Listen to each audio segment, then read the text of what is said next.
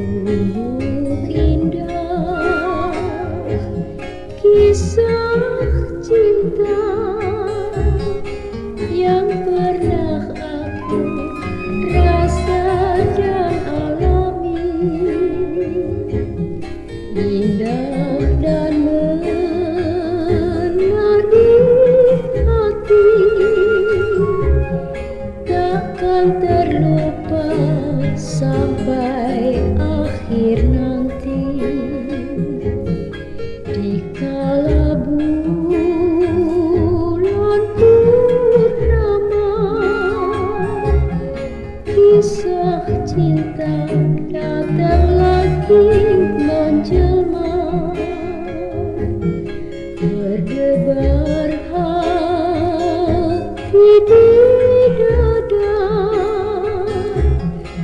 Bagai hidup lagi di depan mata.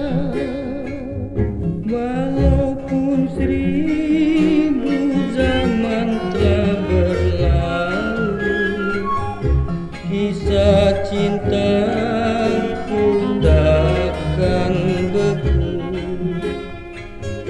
Andai kisah cinta sekuntum On a eu des conditions vraiment particulières en, en 2015. The year was very, very interesting. We had the, this great um, spring with a very beautiful flowering. Travaillé comme on a voulu pendant tout le printemps, il a fait extrêmement beau. Le fait marquant de 2015, c'est une extrême sécheresse. So that is to say, we have had half of a year of water.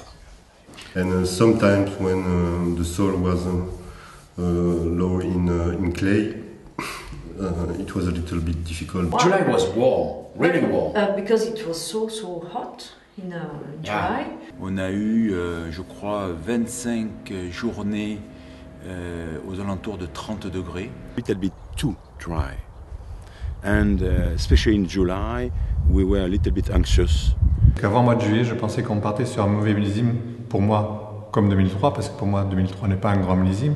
La sécheresse était très dure.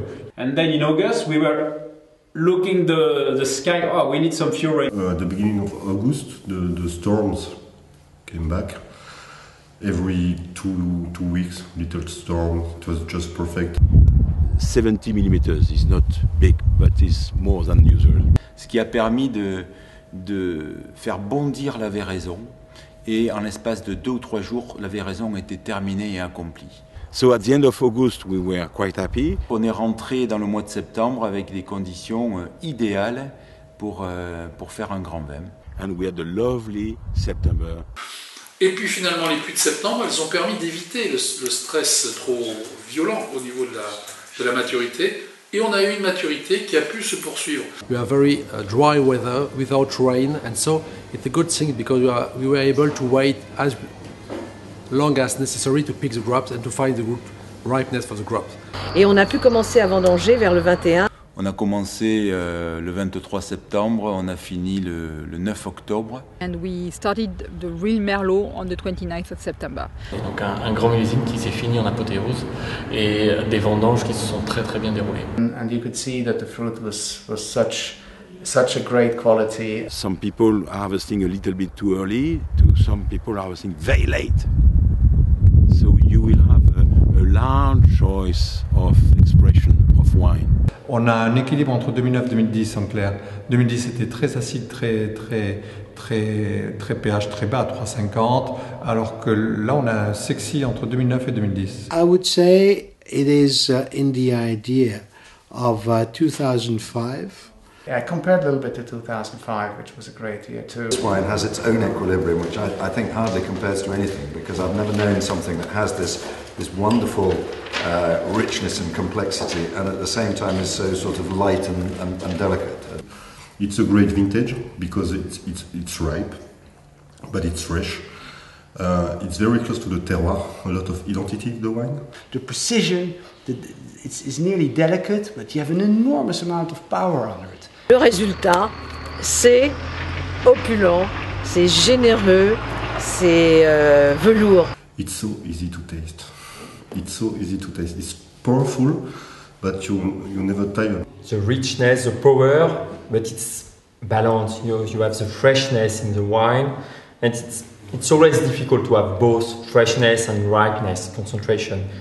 It's, it's a hedonistic vintage generally for me, and uh, whether it's left bank or right bank as well. But but uh, um, it's it's a bit more wild out on the right bank, I think.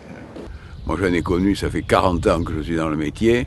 Euh, on a connu 2010, on a connu 2000, 2005 aussi, et, et 2015, c'est un, un, très bon millésime. Alors, moi, j'aime pas trop le, quand on dit que c'est le millésime du siècle, parce que c'est un peu usé tout ça. Bon. Mais ça, ça, ça reste un, un, un, très très bon millésime, quoi. And everything just came together perfectly. For me, it's one of my my best vintage I uh, ever known.